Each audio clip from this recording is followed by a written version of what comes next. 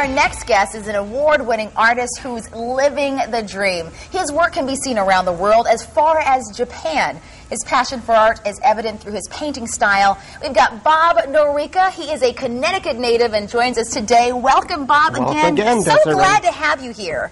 I want to get into different styles. What medium do you work in I, or with? I work in three mediums, uh, watercolor being my uh, first love. Uh-huh. I work with um, fluid acrylics, and I also work with oils. How do you? How would you describe like the style of painting though that you do? I mean, do you go in as an artist knowing that you want to design something like what we see behind us? I paint, um, well, we've coined workshops, fearless fluid uh, watercolors or fearless fluid acrylics. So I paint very uh, improvisationally. I do my do value sketches, but um, You talk about going rogue. I mean, like you say, you know what? You just go with it. You go with whatever moves you. I really, when I do a painting, I, I kind of know where the end result is, but in the beginning, I really don't want to know exactly, uh, you know, it's a venture on the Ah. paper. And, you know, if I come up uh, with a, a wonderful demo or a painting, then I look like a hero. Oh, then you look like a hero. Well, try to Yes. make me into one today because I'm, I've got the whole outfit on today to kind of work with you. I'm very excited about it. What are you going to be demonstrating, first of all? Okay, I've, I have a watercolor here that I uh, have been working on.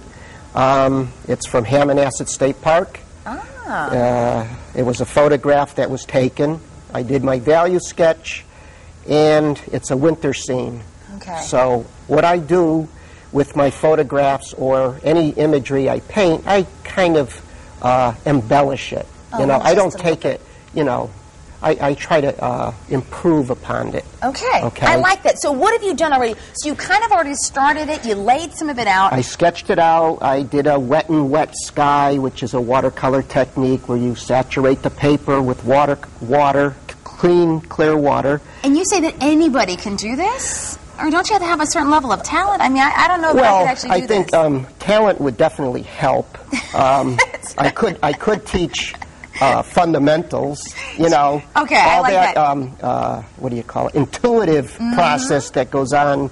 Uh, I don't think that's teachable. okay, I like, I, I, I buy that. So, show me a little bit of a rock. What can I do? okay, what I'm going to do, I'll do one. Okay. And we're going to use this uh, frosting spatula. All it's, right. it's a it's a plastic spatula Oh, with I the handle it. removed. Okay. And I'm going to. like I'll. I'll do one, and then And then I'll try. you're on. try You're one. on your own. Oh boy! I'll mix up. I kind of feel like Demi Moore in Ghost right now. You know what I mean? Yeah, I'll mix up some of this. Uh, Let's call it rock color. I like that. Okay. Okay.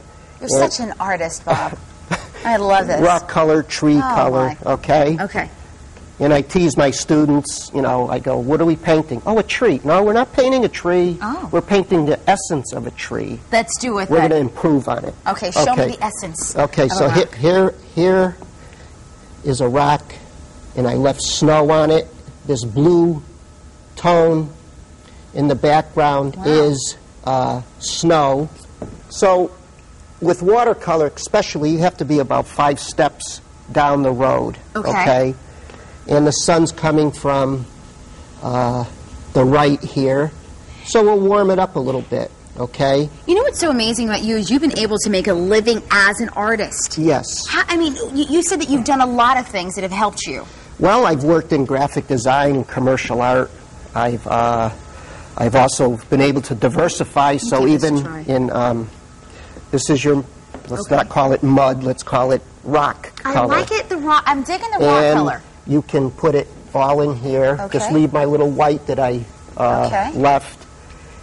It's Uh, kind of you light. can throw a little more blue in here and a little more burnt sienna, Okay. and, just burnt mix sienna, it. Yeah, just mix it. Burnt sienna. Ooh, and, ooh. ooh. Oh, that's a lot of burnt That's sienna. a seven dollar glob of burnt sienna right there.